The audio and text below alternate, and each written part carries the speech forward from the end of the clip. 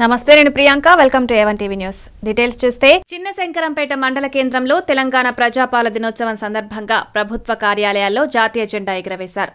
తెలంగాణ అమరవీరుల స్తూపం వద్ద కాంగ్రెస్ పార్టీ మండల అధ్యక్షులు సాన సత్యనారాయణ ఆధ్వర్యంలో అమరవీరులకు నివాళులర్పించిన జాతీయ జెండా ఎగురవేశారు. అనంతరం స్థానిక తాజా మాజీ సర్పంచ్ రాజిరెడ్డి కాంగ్రెస్ పార్టీ అధ్యక్షులు స్థాన సత్యనారాయణలు మాట్లాడారు.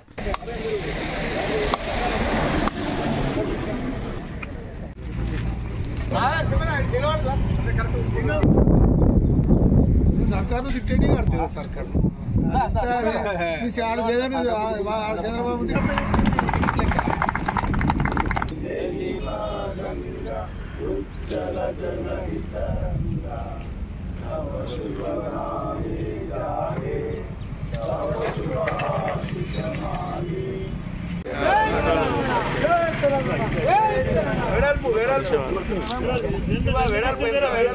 ఇట్లా గిట్లు ఉండు రే ఇట్లా తెలంగాణ. తెలంగాణ మరి సెప్టెంబర్ పదిహేడు తెలంగాణ విమోచన దినం. మరి గౌరవ పెద్దలు ముఖ్యమంత్రి గారు మరి ఏదైతే పదిహేడు ఉన్నదో ప్రజాపాలన భాగంగా మరి సెప్టెంబర్ పదిహేను అధికారికంగా అందరికీ ఆదేశాలు ఇవ్వడం జరిగింది. ప్రతి ప్రభుత్వ కార్యాలయంలో మరి సెప్టెంబర్ పదిహేను ఈ ప్రజాపాలన సందర్భంగా జాతీయ జెండా ఎగరేయాలని చెప్పిండు మరి ఏదైతే మనం ఆరు గ్యారెంటీలు చెప్పారు ఆయన వాళ్ళు రాహుల్ గాంధీ వచ్చిన రోజు వరంగల్ డిక్లరేషన్లు. మరి అంచెలంచెలుగా ఇంచుమించు ఐదు అయినాయి ఆరోది ఒకటి ఉంది. మరి ఏదైతే నిన్న కూడా ఆర్థిక మంత్రి పెద్దలు బట్టి విక్రమార్క గారు చెప్పారు మరి ముఖ్యమంత్రి కూడా పదే పదే చెప్తున్నారు మనం చూస్తూ ఉన్నాం టీవీలో.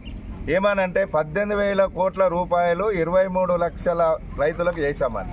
ఇంకా పదమూడు వేల కోట్ల రూపాయలు ఇవ్వాల్సింది ఉంది ఆ పదమూడు వేల రూపాయలు ఇచ్చిన తర్వాత ఇంకా ఇరవై శాతం రైతులకు తప్పకుండా రుణమాఫ్ అవుతుంది మరి ఏదైతే గతంలో దివంగత నేత వైఎస్ రాజశేఖర రెడ్డి హయాంలో లక్ష రూపాయలు మాఫ్ అయింది మరి తర్వాత ఇదే రోజు ఏదైతే మన గౌరవ ముఖ్యమంత్రి రేవంత్ రెడ్డి నాయకత్వాన మరి రైతులకు రెండు లక్షల రూపాయలు ఒకేసారి మాపవడం అన్నది హర్షించదగ్గ విషయం.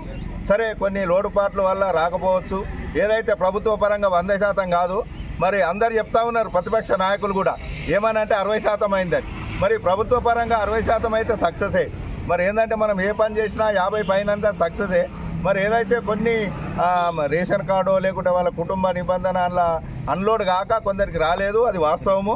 ఏదైతుందో ఇప్పుడు అరవై శాతం కాదు ఎనభై శాతం రైతులకు తప్పకుండా మాపు చేస్తామని గౌరవ పెద్దలు ముఖ్యమంత్రి గారు చెప్తున్నారు ఆర్థిక మంత్రి చెప్తున్నారు ప్రతి ఒక్క ఎమ్మెల్యే గారు కూడా. మేము ఏంటంటే చెప్తా ఉన్నారు. ఎందుకంటే అది తప్పు కాదు. తప్పకుండా ఇంక ఇరవై శాతం రైతులకు అవుతుంది మరి రాబోయే రోజుల మరి ఏదైతే మన రేవంత్ రెడ్డి గారి నేతృత్వంలో మరి యువ నాయకుడు మన డాక్టర్ రోహిత్ రావు నాయకత్వంలో మెదకు అన్ని రంగాల్లో అభివృద్ధి చెందాలని ఆశిస్తూ జై తెలంగాణ.